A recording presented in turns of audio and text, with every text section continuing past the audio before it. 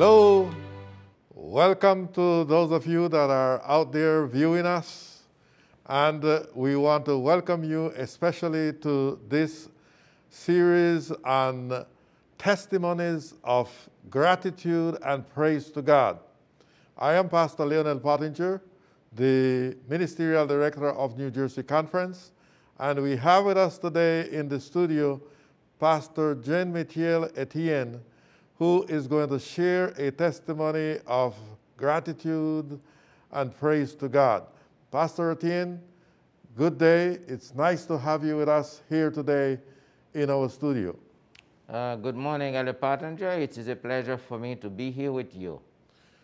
I am very happy to have you here, and uh, I know that your testimony will be a blessing to those round about us. When did you realize that you had the a positive uh, situation in corona, with coronavirus? When did you begin to feel sick? Well, I think I, I, I remember that on Sunday, eh, March 5th, on Sunday, April 5th, uh, on Sunday, March 5th, I was, uh, no, on Sunday, on Sunday, the, the April 5th, uh, I was, uh, I felt uh, a little headache, and uh, usually I, I walk, I do my exercise, and I was not comfortable that day. So I have a body ache, and at that time I thought that I, I got the virus. When you thought you had the virus, were you scared? Yes, I was very scared because at that time uh, I already lost one church member from the COVID, and I had uh, close contact with that person, so I was very, very, very scared. Under those circumstances, what were your expectations? What were you thinking was going to happen? Well, I could not really explain my expectation uh, but my feeling, my feeling uh, was uh, if I lost a member from the COVID and I had close contact with that member and I heard all of the people every day, I keep uh, hearing the people who die from the COVID. So I said, I think about, thought about two things. Uh, I thought God might protect me, I might be survived, also, I might be die like the other people. So I could not really explain my expectation because I was very scared. Did you, do you have any idea of where you got the sickness from? Well, I am not quite sure because my last church service was on first weekend of March. So beyond that, uh, I did not go anywhere. Uh, my wife told me, do not go to the visitation, do not go anywhere. So I obeyed. So I thought I was safe. But as you know, my wife is, uh, is an essential uh, worker. Uh, she's a nurse at, at the Trenton State Prison. And uh, she had to go to work every day. So I believe that she, I got it from her uh, even though she did not have the, the, the symptom I had uh, on Sunday, uh, April 5th, but I believe that I got it from her. So, did your wife ever uh, have the COVID 19? Uh, yes, all of us uh, were infected. Uh, when I was bad the week of uh, uh, April 5th, from Sunday, Monday, Tuesday, uh, Wednesday, I was very, very ill. And we, my wife called out from her work on Wednesday, on Tuesday, because I was very bad. And my daughter scheduled a test for us on, on, on Thursday, the 9th, uh, April 9. So at that time, both of us were positive. Okay, so more or less, how long were you very sick? Uh, I was, I was sick. I, I, I, I got worse I got worse. I, when I'm telling you I got worse, I got worse after having the test. Uh, the, after Thursday, I had the test on Thursday, the April 9, and the following weekend there, the weekend of the night, I was very ill. So I spent, I spent a good two weeks, two full weeks in bad shape. And I had two nights and two days. I did not know if I would make it, just to tell you how bad I was. Well, we thank the Lord that you made it and you are Yes, able to share your testimony today. Yes, Were you hospitalized? Uh, no, I was not hospitalized. Uh, the reason I was not hospitalized because I did not have any breathing uh, problem.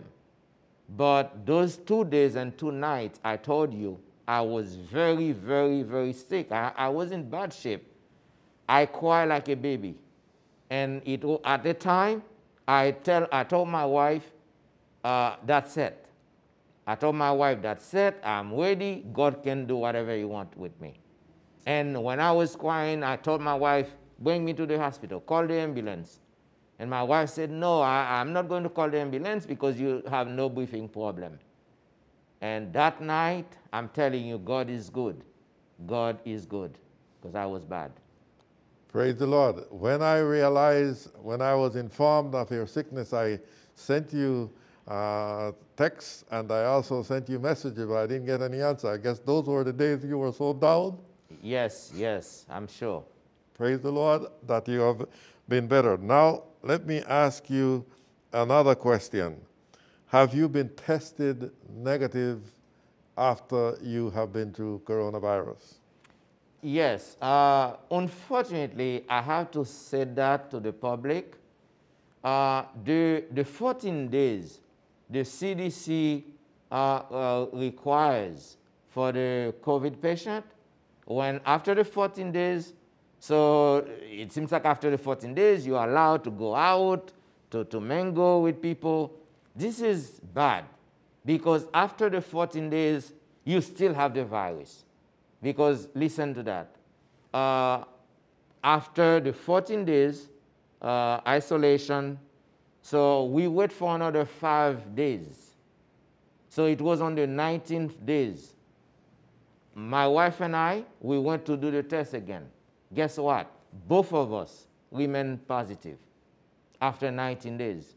But I thank God uh, we spent the whole month of April, May, at the end of May. So my wife and I, we went again to take the test, and I thank God both of us are negative. So, about how much time in, uh, in, in- in days or weeks after you felt better that you finally was tested negative?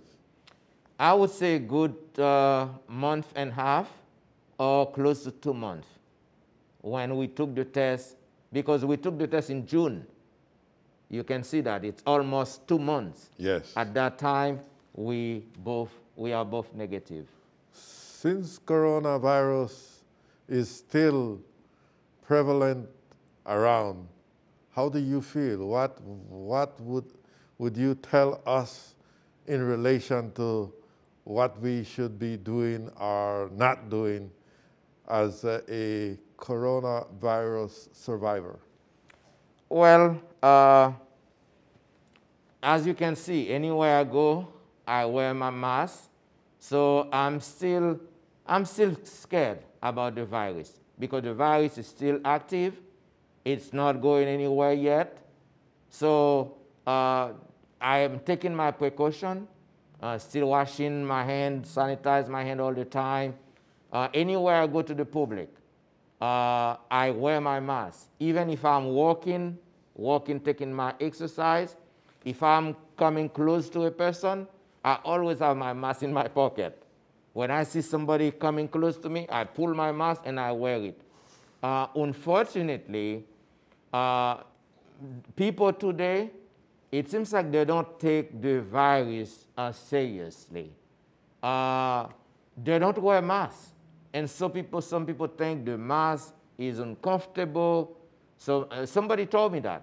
When they saw me walking with the mask, they said, Well, I cannot do it. I, I feel uncomfortable. I said, Well, you got to, to use to it. So, my advice to people as a survivor, uh, you have to keep your social distancing. There is no joke on that. Even people laugh at you, that's okay. But you got to take care of yourself. You got to take care of your, your, your, your, your body. So uh, my advice is to, uh, to tell people to wear masks, to keep their social distancing, to keep washing their hands, and to take the virus uh, as serious as it is. I appreciate that, counsel, because you, as a COVID 19 survivor, the information is now you have tested negative, you should have your immune system to protect you, and you're still wearing the mask to make sure nobody get the sickness. Yes, yes, indeed. So we got to protect everyone around us, everyone. Uh, uh, just to tell you this, uh, last weekend, I was in Georgia for my granddaughter daughter's presentation. And you know, young people, the presentation took place in the home the pastor, the pastor came, and I have a part to play. I have to, to, to give the blessing uh, to my grand, grandchild. So a lot of people that come, family members, no mask. And I bought masks for everyone. I said, everyone needs to wear a mask. Some people, some young people, they look at me like crazy. But I said, I'm sorry. If you are not going to wear the mask, I am not going to stay. This is how serious it is. And I told people, if you, if you, don't, if you don't get hit with the virus and you don't know, you don't have a family member who, hit, who got with, hit with the virus, you would never, ever know what the virus is about. It's not a joke, it's a serious thing. Thank you. You have given us some good counsel, but I still want to know if you have anything more that you would like to say to us and to and that you say to your church members in regards to this pandemic? Well, in addition uh, to what I told you, my advice to my church members, uh, my advice to the young people is to take the virus as serious as it is, to wear masks, wash your hand, and keep your distance, your social distancing. Because some people believe that because they are Christian, because they are praying God, because they believe in God, God will protect them. That's a false uh, reasoning, that's a false uh, philosophy, a false understanding. Because even the Bible says in uh, 3rd John chapter, chapter 1, uh, verse 2, uh, 3rd, 3rd John, uh, verse 2, it says, My beloved, I hope that you prosper in all way and to be in good health. So the same way that prosper your soul. So God wants us to be in good health. Even Ellen G. White, the servant of God, she said, if you neglect to protect yourself, if you ne neglect to uh, take care of good, take care of uh, your, your health, God is not going to uh, refrain you or avoid the sickness. So you got to take care of yourself. Thank you, Pastor. Yes. That is very good counsel. We need to realize the difference between faith and presumption. Yes. God gave us wisdom, and mm -hmm. we need to apply that wisdom in our daily lives. And we should not expect God to be doing for us what He has enabled us to do for ourselves. Yes. Indeed. I praise the Lord with you, and I thank the Lord for taking you through this experience and bringing you through successfully. May God continue to bless you in your ministry. And for those of you that are listening out there, wherever you are, we want to encourage you to take this pandemic situation with coronavirus seriously and to make sure you do everything possible to keep your health and the health of those round about you. God bless you and uh, have a wonderful day.